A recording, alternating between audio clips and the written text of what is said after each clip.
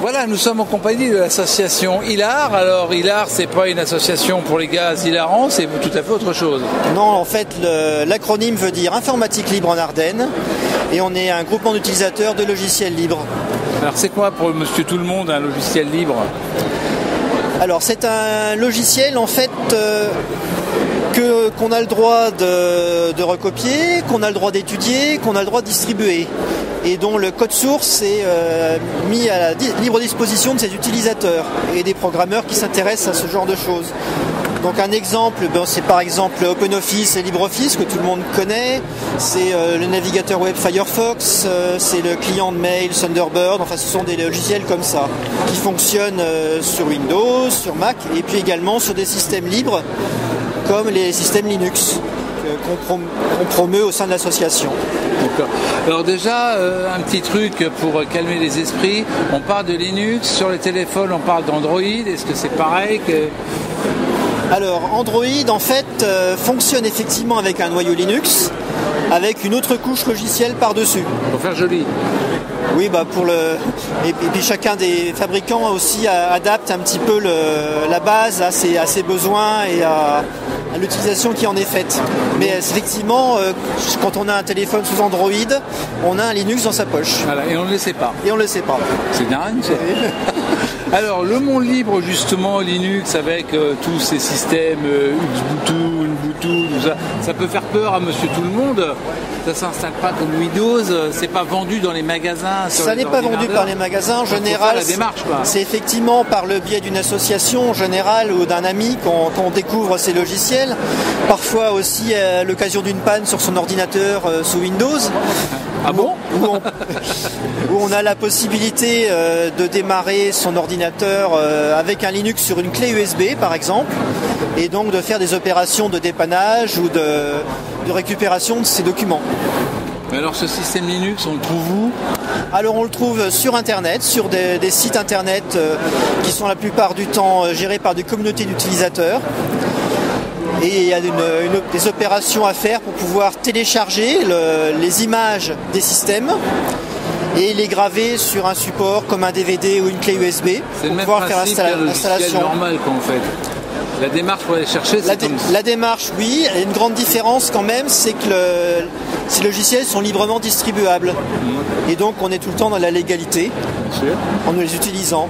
Qu'on a également aussi une grande palette d'utilisation possible. hein. Ça peut aller euh, de la PAO euh, au traitement d'images, euh, à la création de logos, à la création de sites internet, du montage vidéo. Il y a de nombreuses applications pour lesquelles il existe des logiciels libres et souvent gratuits euh, qui permettent de, de faire beaucoup d'activités créatives sans euh, devoir, quand on n'en a pas les moyens, investir dans des licences coûteuses. Est-ce qu'on peut mélanger sur un ordi les deux, Windows, Linux?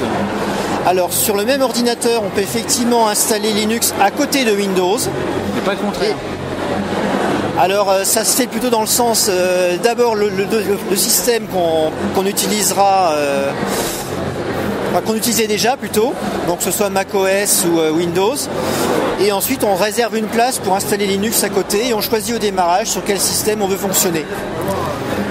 Ce qui, euh, ce qui permet, quand on a des logiciels très spécialisés qui n'existent que sous un- une plateforme logicielle comme macOS ou Windows, de continuer à les utiliser et de profiter éventuellement d'un logiciel Linux libre par ailleurs. Mais ce logiciel Linux, il existera aussi, enfin ce logiciel libre, pardon, il existera aussi souvent en version Windows ou macOS. D'accord. Alors, deuxième truc intéressant sur votre stand, je vois des ordinateurs qui tiennent dans la poche. Tout Ça s'appelle comment ces machins-là? Alors ce sont des nano-ordinateurs monocartes pour le, le nom euh, descriptif technique. Et il y a actuellement oh, une dizaine ou une quinzaine de fabricants qui en font. Celui qui est le plus populaire actuellement, parce que c'est un, ça a été fait pour un usage pédagogique, euh, c'est les Raspberry, ça veut dire framboise en fait en anglais. C'est euh, à la taille d'une carte de crédit. Vous avez dessus euh, un microprocesseur, de la mémoire, une carte graphique, des ports USB, un port HDMI pour se brancher sur une télévision écran plat. Et on a en fait un ordinateur complet. Et dans les dernières versions, on peut faire tourner un système Linux avec son interface graphique. On peut installer euh, une distribution multimédia pour transformer sa télévision en centre multimédia connectable à Internet. On peut l'utiliser comme euh, serveur web à la maison pour ceux qui savent faire leur site internet eux-mêmes. Euh, on peut même l'utiliser pour faire du rétro gaming, parce qu'il y a la possibilité d'installer des, émulations de vieilles consoles de jeux. Enfin, il y a de nombreuses applications possibles. Et tout ça pour un coût très abordable, puisque une carte euh, nue coûte euh, 40 à 45 euros. Une carte nue, ça veut dire quoi? Ça veut dire qu'il faut quand même prévoir euh, une alimentation de bonne qualité, qui fournit suffisamment de, jus, ouais. de jus, mais quoique le- bon, c'est quand même des cartes qui consomment euh, 2 à 10 watts, hein, c'est comme une ampoule électrique. Ouais. Et puis euh, avoir également des câbles pour se connecter à une télévision, euh, avoir éventuellement aussi euh, un clavier et une souris sans fil si on veut être plus, plus à l'aise avec le matériel. Donc il y a, il y a quelques petites extensions à prévoir. Alors ma question est, quand on voit l'objet, ça fait pas gadget quand même un petit peu ou est-ce que c'est appelé à remplacer certains ordi? On peut se le demander parce que les dernières versions qui sont sorties ont aujourd'hui euh, un giga de RAM, des processeurs qui sont les, mêmes que ceux des téléphones portables et une puissance qui permet de faire tourner un système informatique Linux avec son interface graphique. Donc on peut faire du traitement de texte euh, dans un, avec une vitesse de fonctionnement souple. Euh, ça fonctionne comme un ordinateur bas de gamme en puissance. Quoi. On fera pas forcément des, du montage vidéo en Full HD. On faire un Call of Duty et tout ça. Voilà, tout à fait. Mais pour une utilisation bureautique, euh, internet, euh, mail, on a aujourd'hui une machine qui est tout à fait capable de le faire. Donc ça serait un petit truc d'appoint qu'on fait. Ça peut être un ordinateur d'appoint à la maison, C'est effectivement. super portable puisque tient dans la poche, on le branche, on arrive, Tout à on fait. a un ordi qui, qui arrive. Voilà. Alors j'ai vu qu'il y avait aussi des cartes SD avec des trucs dedans. euh, Alors effectivement, ces, ces ordinateurs n'ont pas de disque dur, hein, c'est juste une carte euh, électronique. Et on met le système euh, et les documents sur les, petites cartes SD, les mêmes qu'on a dans les téléphones portables, dans les appareils photo. Et on a la place effectivement sur une carte SD de 4 à 8 gigas de mettre un système Linux, c'est quand même pas mal de documents. On trouve ça où maintenant, ces petits machins-là Tout on- monté déjà pour Monsieur Tout le Monde. Alors tout monté pour Monsieur Tout le Monde, il y a des kits qui sont vendus, effectivement on le trouve surtout sur internet. Alors pour les, les, les gens des Ardennes, il y a une entreprise qui s'appelle Gotronic, Gotronic. hein, qui est dans, dans le département, euh, qui vend ça. Sinon effectivement, le- la plupart des sites d'électronique les proposent. D'accord. Vous utilisez Alors moi j'en ai un, Personnellement. j'en ai un effectivement euh, qui va me servir, quand j'aurai un petit peu le temps, de, de serveur web à la maison. Bah oui, normal. Alors, d'autres choses à nous signaler sur le stand Je vois que. Bah, écoutez, on présente Après, aussi, bouquins, on, on présente aussi des logiciels libres permettant de faire euh, de la retouche photo, Ah, il y a des bouquins sur GIMP et tout ça, oui, d'accord. oui, oui, oui. ouais, parce que c'est vrai que c'est. permettant de faire de, de la publication assistée par ordinateur. Donc on peut se faire euh, des affiches, des flyers, euh, même des livres.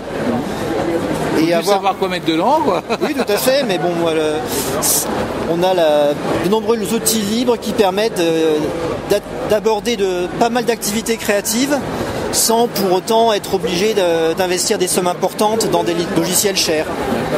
Pour terminer, Hilar, on les trouve où Vous êtes euh, physiquement sur les Alors, Ardennes Physiquement, nous sommes sur les Ardennes. Nous sommes sur notre site internet euh, www.ilard.fr où il y a les actualités de l'association. On a également une page Facebook, un compte Twitter où on annonce euh, ce qu'on fait. Et on est actuellement en partenariat avec une euh, librairie associative qui existe sur Charleville-Mézières depuis le mois d'avril qui est la librairie Bulle, que vous pourrez trouver 17 rue René Carré à Charleville-Mézières, dans la rue qui est derrière la poste centrale. Et en plus, on va pouvoir manger des bons petits gâteaux qui vont apparaître très bientôt. Exactement. Donc là, c'est vraiment l'association informatique, bouquins, bouffe, euh, top, quoi. Oui, bah, on, est, on participe volontiers d'ailleurs aux activités au sein de Plume et Bulle, là, qui accueille de nombreuses autres associations d'ailleurs. D'accord. Merci beaucoup et puis à très bientôt pour d'autres aventures. Merci, bonne fin de festival à tout le monde.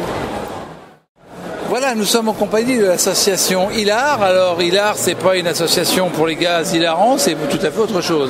Non, en fait, l'acronyme veut dire Informatique Libre en Ardennes, et on est un groupement d'utilisateurs de logiciels libres. Alors, c'est quoi pour monsieur tout le monde un logiciel libre Alors c'est un logiciel en fait euh, qu'on a le droit de, recopier, qu'on a le droit d'étudier, qu'on a le droit de distribuer et dont le code source est euh, mis à la libre disposition de ses utilisateurs et des programmeurs qui s'intéressent à ce genre de choses. Donc un exemple, ben, c'est par exemple OpenOffice et LibreOffice que tout le monde connaît. C'est euh, le navigateur web Firefox, euh, c'est le client de mail Thunderbird. Enfin, ce sont des logiciels comme ça qui fonctionnent euh, sur Windows, sur Mac et puis également sur des systèmes libres comme les systèmes Linux qu'on prom- qu'on promeut au sein de l'association. D'accord. Alors déjà, un petit truc pour calmer les esprits. On parle de Linux, sur les téléphones on parle d'Android. Est-ce que c'est pareil. Alors Android en fait euh, fonctionne effectivement avec un noyau Linux avec une autre couche logicielle par-dessus. Pour faire joli. Oui, bah pour le et, puis chacun des fabricants aussi adapte un petit peu le- la base à ses, à ses besoins et à, à l'utilisation qui en est faite. Mais euh, effectivement, euh, quand on a un téléphone sous Android, on a un Linux dans sa poche Voilà, et on ne le sait pas. et on le sait pas. C'est dingue. ça.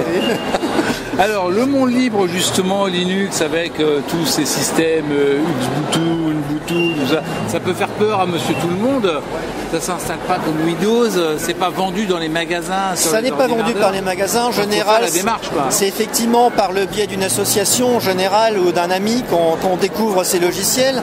Parfois aussi à l'occasion d'une panne sur son ordinateur euh, sous Windows. Ah bon où on, où on a la possibilité euh, de démarrer son ordinateur euh, avec un Linux sur une clé USB par exemple, et donc de faire des opérations de dépannage ou de, de récupération de ses documents. Mais alors, ce système Linux, on le trouve où? Alors on le trouve sur Internet, sur des, des sites Internet euh, qui sont la plupart du temps gérés par des communautés d'utilisateurs. Et il y a une- une- des opérations à faire pour pouvoir télécharger le- les images des systèmes et les graver sur un support comme un DVD ou une clé USB C'est pour pouvoir faire l'installation. normal qu'on fait. La démarche pour aller chercher, La, c'est dé- comme la démarche, oui. Et une grande différence quand même, c'est que le- ces logiciels sont librement distribuables. Et donc on est tout le temps dans la légalité en les utilisant. On a également aussi une grande palette d'utilisation possible. hein. Ça peut aller euh, de la PAO euh, au traitement d'images, à la création de logos, à la création de sites internet, du montage vidéo. Enfin, il y a de nombreuses applications pour lesquelles il existe des logiciels libres et souvent gratuits euh, qui permettent de, de faire beaucoup d'activités créatives sans euh, devoir, quand on n'en a pas les moyens, investir dans des licences coûteuses. Est-ce qu'on peut mélanger sur un ordi les deux, Windows, Linux? Alors sur le même ordinateur, on peut effectivement installer Linux à côté de Windows. Mais pas le contraire. Alors euh, ça se plutôt dans le sens, euh, d'abord le, système qu'on utilisera, euh, qu'on utilisait déjà plutôt, donc que ce soit macOS ou Windows. Et ensuite on réserve une place pour installer Linux à côté et on choisit au démarrage sur quel système on veut fonctionner. Ce qui, euh, ce qui permet, quand on a des logiciels très spécialisés et qui n'existent que sous un- une plateforme logicielle comme macOS ou Windows, de continuer à les utiliser et de profiter éventuellement d'un logiciel Linux libre par ailleurs. Mais ce logiciel Linux, il existera aussi, enfin ce logiciel libre, pardon, il existera aussi souvent en version Windows ou macOS. D'accord. Alors, deuxième truc intéressant sur votre stand, je vois des ordinateurs qui tiennent dans la poche. Tout à Ça s'appelle comment ces machins-là? Alors ce sont des nano-ordinateurs monocartes pour le, nom euh, descriptif technique. Et il y a actuellement une dizaine ou une quinzaine de fabricants qui en font. Celui qui est le plus populaire actuellement, parce que c'est un, ça a été fait pour un usage pédagogique, euh, c'est les Raspberry, ça veut dire framboise en fait en anglais. C'est euh, à la taille d'une carte de crédit. Vous avez dessus un microprocesseur, de la mémoire, une carte graphique, des ports USB, un port HDMI pour se brancher sur une télévision écran plat. Et on a en fait un ordinateur complet. Et dans les dernières versions, on peut faire tourner un système Linux avec son interface graphique. On peut installer euh, une distribution multimédia pour transformer sa télévision en centre multimédia connectable à Internet. On peut l'utiliser comme euh, serveur web à la maison pour ceux qui savent faire leur site internet eux-mêmes. Euh, on peut même l'utiliser pour faire du rétro gaming, parce qu'il y a la possibilité d'installer des, émulations de vieilles consoles de jeux. Enfin, il y a de nombreuses applications possibles. Et tout ça pour un, coût très abordable, puisque une carte nue coûte 40 euh, à 45 euros. Une carte nue, ça veut dire quoi? Ça veut dire qu'il faut quand même prévoir euh, une alimentation de bonne qualité, qui fournit suffisamment de, de jus, mais quoique, bon, c'est quand même des cartes qui consomment 2 à 10 watts, hein, c'est comme une ampoule électrique. Et puis euh, avoir également des câbles pour se connecter à une télévision, euh, avoir éventuellement aussi euh, un clavier et une souris sans fil si on veut être plus, plus à l'aise avec le matériel. Donc il y, a, quelques petites extensions à prévoir. ma question est, quand on voit l'objet, ça fait pas gadget quand même un petit peu ou est-ce que c'est appelé à remplacer certains ordi? On peut se le demander parce que les dernières versions qui sont sorties ont aujourd'hui euh, un giga de RAM, des processeurs qui sont les, mêmes que ceux des téléphones portables et une puissance qui permet de faire tourner un système informatique Linux avec son interface graphique. Donc on peut faire du traitement de texte euh, avec une vitesse de fonctionnement souple. Euh, ça fonctionne comme un ordinateur bas de gamme en puissance. Quoi. On fera pas forcément des, du montage vidéo en Full HD. on peut faire un Call of Duty, tout ça. Voilà, tout à fait. Mais pour une utilisation bureautique, euh, internet, euh, mail, on a aujourd'hui une machine qui est tout à fait capable de le faire. Donc ça serait un petit truc d'appoint qu'on fait. Ça peut être un ordinateur d'appoint à la maison, effectivement. super portable puisque tient dans la poche, on le branche, on arrive, tout à fait. on a un ordi qui, arrive. Voilà.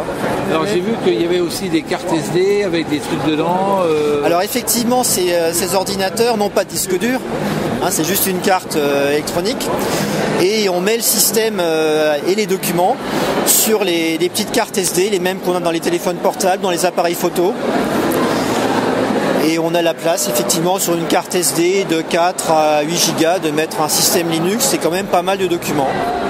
On trouve ça où maintenant, ces petits machins-là Tout monté déjà pour Monsieur Tout le Monde alors tout monté pour Monsieur Tout le Monde, il y a des kits qui sont vendus, effectivement on le trouve surtout sur internet.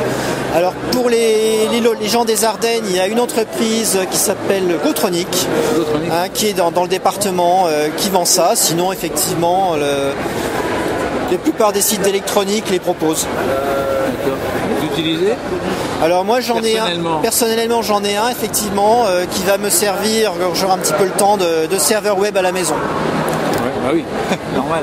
Alors, d'autres choses à nous signaler sur le stand Je vois que. Bah, écoutez, on présente aussi. Des bouquins, on, présente aussi des logiciels libres permettant de faire euh, de la retouche photo.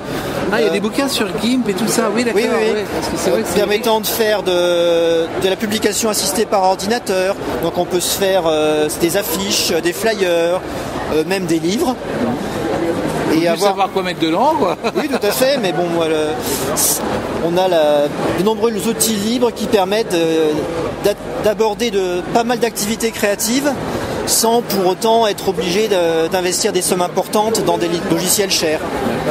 Pour terminer, Hilar, on les trouve où? Vous êtes euh, physiquement sur les Ardennes? Physiquement, nous sommes sur les Ardennes. Nous sommes sur notre site internet euh, www.ilard.fr où il y a les actualités de l'association. On a également une page Facebook, un compte Twitter où on annonce euh, ce qu'on fait. Et on est actuellement en partenariat avec une euh, librairie associative qui existe sur Charleville-Mézières depuis le mois d'avril, qui est la librairie Plume et Bulle, que vous pourrez trouver 17 rue René Carré à Charleville-Mézières, dans la rue qui est derrière la poste centrale. Et en plus, on va pouvoir manger des bons petits gâteaux qui vont apparaître très Exactement. bientôt. Donc là, c'est vraiment l'association informatique, bouquins, bouffe, le top quoi. Oui, on, est, on participe volontiers d'ailleurs aux activités au sein de Plume et Bulle, là, qui accueille de nombreuses autres associations d'ailleurs. D'accord. Merci beaucoup et puis à très bientôt pour d'autres aventures. Merci, bonne fin de festival à tout le monde.